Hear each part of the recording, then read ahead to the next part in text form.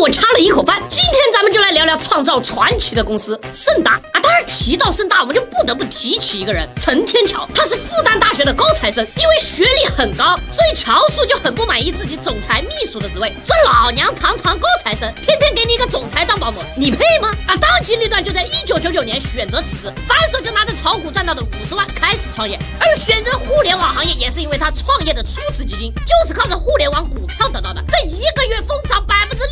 六十五的行业啊，立马就引起了乔叔的注意，并且在童年经常看迪士尼动画的影响下，乔叔喊出了做中国迪士尼的口号，是要打造出属于自己的中国网络社区。他首先将目标放在了动漫市场啊，但当时国内的动漫行业啊，懂的都懂，基本上就是亏本赚吆喝的买卖，没有人看得起这个行业的。当年我乔叔亲自跑到大学招生，都没有人理他的。没办法，乔叔只好抛出高薪，才勉强组建起团队。但团队建起来是要养的呀，高额的薪酬带来的短的变现时间。但动漫行业啊，真的没什么难的。乔叔就这么烧了两年的钱，旁边的人都开始考虑啊，这个人是不是思想出了问题啊？直到他推出了这个英文不会读的网页，人们可以在上面以一个虚拟形象在网上生活，可以在里面打工、生活，甚至结婚。这在两千年可谓是一项惊人的尝试，而这次尝试也很快得到了回报。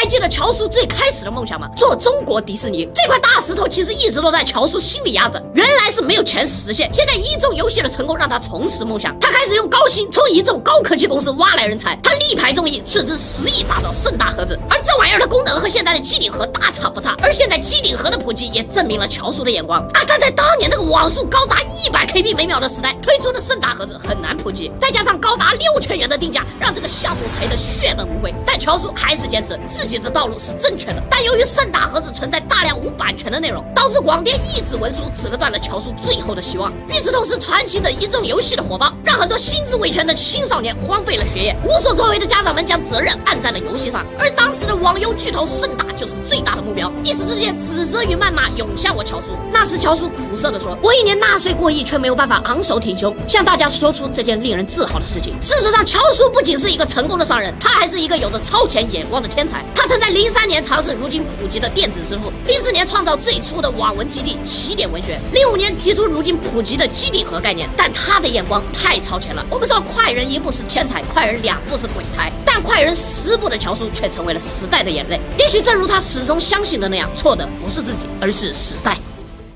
网页很快就被中华网看上了，看了用户评价之后啊，立马决定注资三百万美金支持我乔叔。但是问题又来了，当时并没有网络充值这一说，所以说这个网页虽然口碑质量双丰收，但始终都赚不到钱。三百万很快都要见底了，怎么办？啊，这个时候一个名叫渣渣辉的男人拍了拍我乔叔的头，说兄弟充点卡不？这忽然来到的机遇啊，让乔叔猝不及防，他立马找到中华网股东询问意见，谁知那边就直接说了，你要敢代理传奇，我就敢撤资。乔叔也是傻了，要知道。当当时乔叔可就靠着这一笔投资撑到了现在，这投资一撤，可能自己就要还一辈子债了。但乔叔还是选择相信自己的眼光，他东拼西凑，将三百万美金的投资尽数撤回，同时砸锅卖铁，用三十万美元换来了传奇的独家代理权。乔叔的这前半辈子一直在赌，而这一次他选择了欧印。但连自己都没有想到的是，传奇拯救了盛大。两千零一年开始运营的传奇，在两年的时间内创下了三亿的净收入，帮助盛大在两千零四年于纳斯达克上市，并且一周之内股。票暴涨接近一倍，